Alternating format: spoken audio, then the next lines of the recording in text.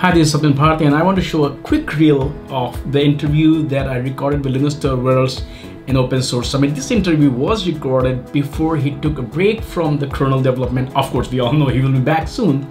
It was recorded before that, but I have been traveling a lot, so I had did not manage to uh, work on it and publish it. So here's a quick reel.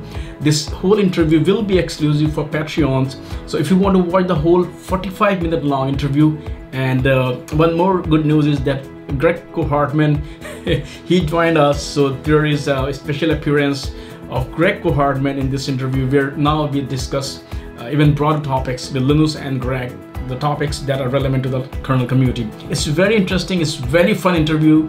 Uh, I'm sure you will you'll all enjoy it. But I'm keeping it exclusive for my Patreon who have been supporting me for a while. So if you want to watch this video, please become a Patreon. The link is below, and I hope you'll enjoy the video. So see you on Patreon. Bye for now. Chromebooks and an Android are the path towards the desktop. I still wish we were uh, better at, at having a standardized desktop that goes across all the distributions. Uh, there's been some progress there. Uh, how much, you know, do you really care about just the code has to be open source, or you also care about, you know, either the business practices? Me personally, I only care about the code. Mm -hmm.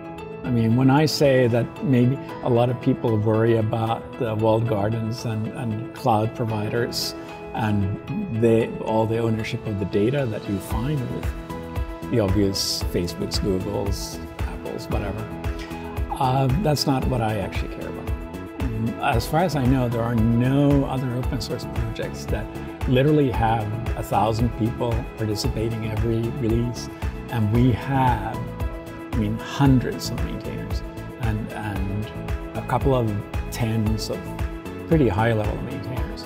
So we got both the depth and the breadth of, of developers being involved. It could be an uncomfortable question, but when sometime when he explores on, you know, LKML, what do you feel, you know? How do I feel? la la la la. there, but the grace of God go I. Um. what you kind of see from the outside is not actually what the community sees internally that much. Yeah, I mean, what we do, and also, I mean, what we do is also everything in public you can read. I mean, people do troll the mailing list to see what we post, and if you say something bad, yeah, that's a good news cycle for a day. And this is not an excuse for you. oh, I still got to come back. okay, I, no, that's good.